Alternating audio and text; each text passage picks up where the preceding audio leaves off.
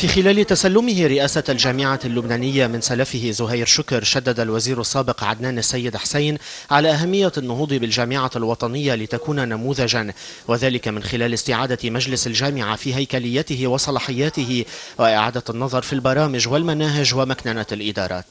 السيد حسين وفي كلمة خلال حفل التسليم الذي أقيم في مبنى الإدارة المركزية في المتحف تناول أوضاع أساتذة الجامعة.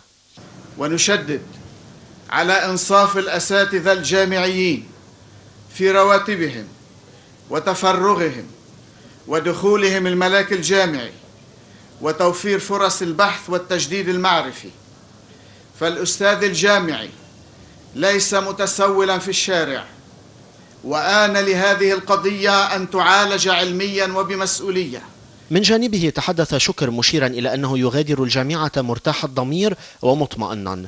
ولا شك أن عوامل كثيرة واجهتنا في الجامعة اللبنانية. وبعضها يعود إلى عدم وجود مجلس جامعة يتدارس ويقرر شؤونها بمشاركة من كل أهلها. إذ أن لمجلس الجامعة دورا تقريريا لا يمكن إلغاؤه لأي سبب من الأسباب وشدد شكر أخيرا على أن الجامعة محكومة بقوانين لابد أن يتم تحديثها.